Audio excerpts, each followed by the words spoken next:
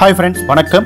Welcome back to Tamil Mithran Thala Ajith Thalapathy Vijay mega star Chiranjeevi Rana ஆகியோரோட ரெண்டாயிரத்தி பதினேழாம் ஆண்டில் நடித்தேன் எனக்கு ரெண்டாயிரத்தி பதினேழாம் ஆண்டு சிறந்த காவிய ஆண்டாக இருந்தது அப்படின்னு காஜல் அகர்வால் தெரிவிச்சிருக்காரு.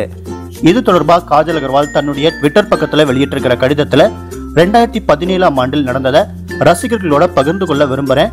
மெகாஸ்டார் சிரஞ்சீவி சாரோட தெலுங்குல நடிச்ச கைதி நம்பர் ஒன் பிப்டி முதல்ல ரிலீஸ் ஆச்சு. அதற்கு பிறகு என்னுடைய நண்பர் ராணாவோட நேனே ராஜு நேனே மந்திரி தெலுங்கு படத்துல நடிச்சேன். அது ஒரு அழகிய அனுபவமா இருந்தது. என்னுடைய வழிகாட்டி தேஜா சாரோட இணைந்து பணிபுரிஞ்சதால நிறைய கத்துக்கிட்டேன்.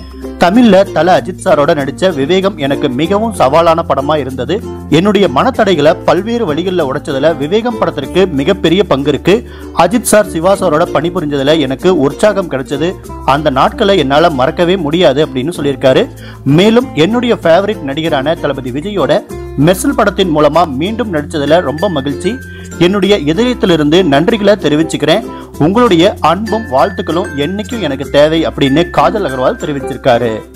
காஜல் அகர்வால் தெரிவித்தது போல தெலுங்குல மெகாஸ்டார் சிரஞ்சீவி தமிழ்ல தல அஜித் தளபதி விஜய்னு ரெண்டாயிரத்தி பதினேழாம் வருடம் இவருக்கு அற்புதமான வருடமாகவே அமைஞ்சது.